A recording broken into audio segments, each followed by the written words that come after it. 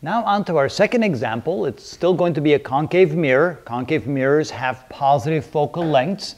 And uh, in this case, we have one that is 25 centimeters, meaning the distance from the lens to the focal point is 25 centimeters, which means the distance from the lens to the center of curvature is 50 centimeters, because this is always twice this number right here. We have now placed the object between the center of curvature and the focal point. The first video we had the object placed much farther away. So now we place it there. Now let's find out where the image is going to appear. First we do it graphically. Again, we draw a ray parallel to the normal when it hits the mirror, it comes back and reflects through the focal point. There you go, that's our first ray. The second ray is drawn from the top of the object to the focal point to the mirror. And then it reflects off the mirror, comes back over this way, and that's our second ray. And where the two rays meet, that will be the location of the image. So the image is over here, looks like it's farther away than the center of curvature.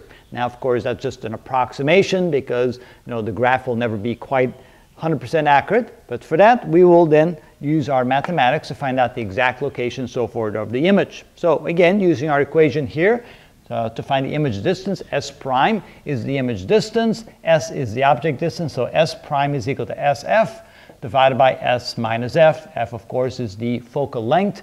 So this is equal to Oh, I didn't give you, oh yeah, right here, I gave you the uh, object distance, 40 centimeters away from the mirror. So this is 40 times 25 divided by 40 minus 25.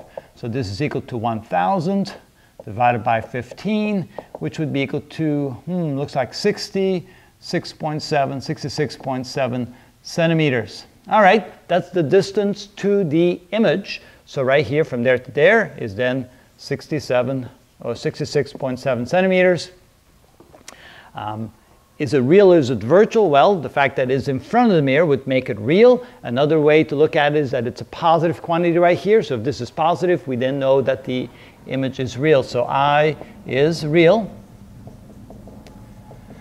The next thing we're going to do is find the magnification right here. So we use this equation right here that the magnification is equal to minus s prime over s. In this case, that's minus 66.7 divided by s. s was 40. And uh, let's see here. That's, uh, let me get my calculator out. So 66.7 divided by 40. It's, yeah, it's 1.67. 1.67, and it's negative. Okay, the negative indicates that the image is inverted, so therefore we can say that's inverted or upside down. And it's 1.67 times as large as the original object. So the object was this large, this was 1.67 times as large as that. So that's how we find that. So first of all, we found the distance to the image, we found that the image was real, we found the magnification of the image, and we realized that with the negative that it was inverted.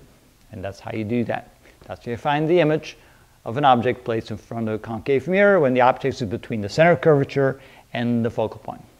Our next example, we're going to move the object closer to the mirror in front of the, or between the mirror and the focal point, and then let's see where the image appears then.